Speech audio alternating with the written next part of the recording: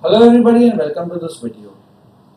If you make a Google search on reverse charge mechanism under GST, you will come across a lot of articles that say that reverse charge has been deferred till 31st March 2018. However, this information is partly true because reverse charge for URD dealers has been deferred, but other reverse charge for notified goods and services have not been deferred. So I am putting together this video to clarify this the position and to give an overview of the reverse charge mechanism and how it operates. So today we are going to take this topic in the following manner. What is reverse charge? When is reverse charge applicable? And the procedure when reverse charge is applicable. So what is reverse charge? Normally under GST, the supplier of goods and services prepares an invoice and in that invoice charges the GST. This is called normal charge. In certain cases, however, the supplier is not supposed to charge the tax. The recipient is responsible for paying the GST on such a transaction and this is known as reverse charge. Now, question that might arise is why would the government do something like this? The reason could be that for certain industries and sectors which are unorganized, the supplier may not be able to comply with the GST procedure and hence the burden is put on the recipient of goods and services. Okay, going to the next topic. When is reverse charge applicable? So reverse charge basically are of two types.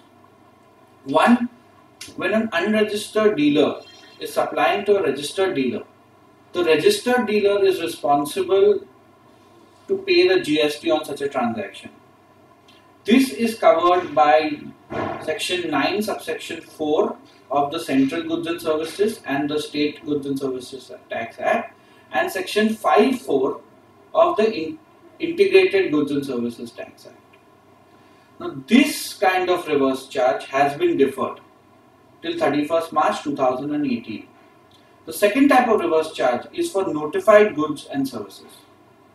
This is still applicable and on all transactions un undertaken today.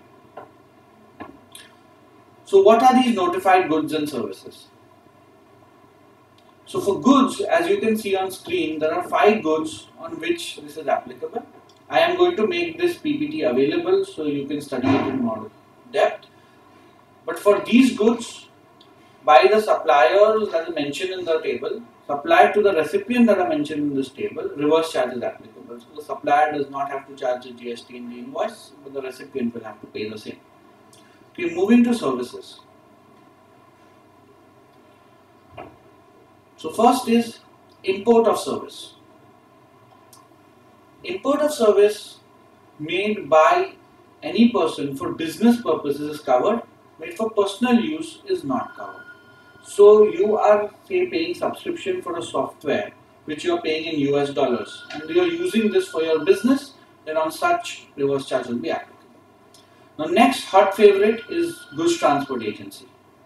So a GTA supplying service of goods transportation to a business entity, being a partnership firm, a body corporate, a cooperative society, or a registered person under GST reverse charge is applicable. Next is services provided by an advocate, a senior advocate or a firm of advocates. So again important thing to understand whenever you take legal services from an advocate, you will be responsible for paying the GST. Obviously this is for business purpose, not for individual use. Next is sponsorship and after that is services provided by a director to a company or a body corporate.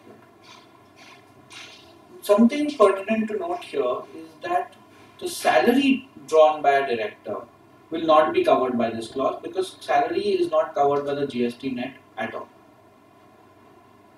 Okay, now there are other services on which reverse charge is applicable. However, I'm not covering the same. You can go through it uh, when you download my PPT. Now, what is the procedure when reverse charge is applicable? First and foremost, you will have to make a payment voucher.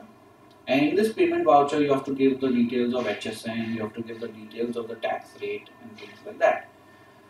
After that, you need to make the invoice. In the invoice again, the tax rate that you're supposed to use is going to be the tax rate applicable for such goods and services. Now, who will you make the invoice to? This is a very important question. The answer is you need to make the invoice to yourself. Why do you have to do this? Because for the purpose of claiming input tax credit, if the input tax credit for such a transaction is available, then the duty paying or the tax paying document is this invoice. So self invoicing is very important, otherwise, the input tax credit will not be available. And the next, you need to pay the GST in the current month and the input credit of this, if available for your transaction, which will need to be seen um, with light of the in, in the light of the other provisions of the acts, will have to be claimed in the next month. Okay. Thank you everybody for a patient hearing, and uh, I hope this has been uh, useful. And if you haven't done so already, please subscribe to my channel to receive such updates regularly. Thank you.